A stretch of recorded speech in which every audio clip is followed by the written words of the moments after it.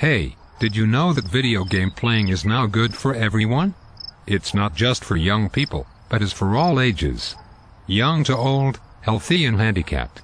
Video games can be used for so much more than just entertainment. It's amazing what I just learned. Really? That is amazing. Come to think of it, my grandfather went to his insurance company to drive a simulation video game to sharpen his driving skills so that he can renew his license soon. I have heard about that also. But, did you know that video games are now used for other things like rehabilitation for the handicapped or people recovering from a stroke or brain injury? My cousin had a stroke and is using it to help his muscle coordination, and for speech therapy. It is really helping him a lot.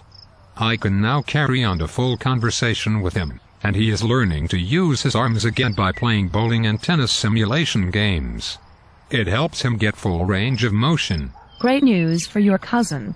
I bet that my grandfather is also participating in video gaming in his senior recreation center that he goes to. I have heard him talking about playing Wii bowling and tennis.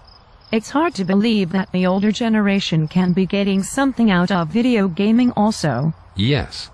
How about the younger kids, I mean little kids that are just learning to read and do mathematics? That is helping them out also, I bet. There are a lot of video games out there that does not involve stealing cars or shooting up zombies. Although, I personally feel that it's so much fun. You are funny.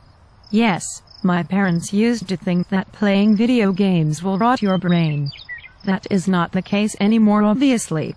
How about using games like Angry Birds to get out your aggression? I think this will help with anger management. Plus it is also a lot of fun to beat up on those bad pigs by launching colorful Angry Birds at them. Some of those characters look so funny and the animation is great. Sorry to say this here, but have you looked at what we look like represented in this video presentation? I think we resemble another video game called Animal Crossing, where you play as an animal avatar and live out your lives, and create your own world.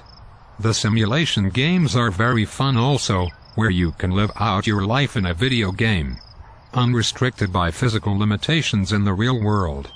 The positive things about video gaming just keeps getting better and better. Yes, we are cute fuzzy animated creatures.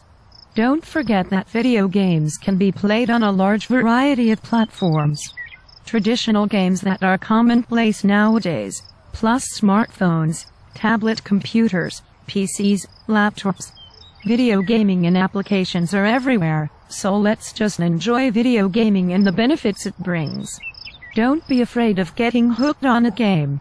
What about Scrabble and Words with Friends, which can improve your brain function? Games like these help older people with Alzheimer's symptoms. Yes. But there will still be people out there that say you have to be a young person to play a video game. I think that is just plain stupid. Anyone and everyone can either have fun with it as entertainment, or use it to benefit themselves. Let's all get out there and play more video games. Yes, video gaming is good for everyone. This has been a presentation representing an essay of an argument on the topic that video gaming is good for everyone, by Loretta Zanger, for Baker College English Composition 2 class. Thank you for watching, and I hope you enjoyed it.